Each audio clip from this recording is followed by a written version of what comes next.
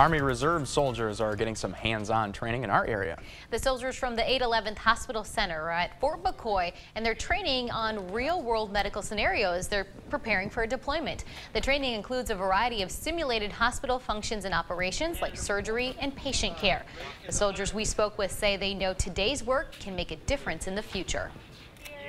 You are strides above others who have gotten the base baseline training. Uh, we get out to the real world with uh, leadership experience as well as more advanced clinical experience that you might receive civilian side.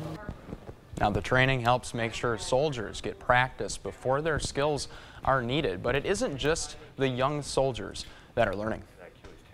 I always learn different things from different people, especially from younger soldiers, because it allows me to really assess my teaching abilities and also my knowledge you heard some accents there. The soldiers came from across the U.S. today for today's training.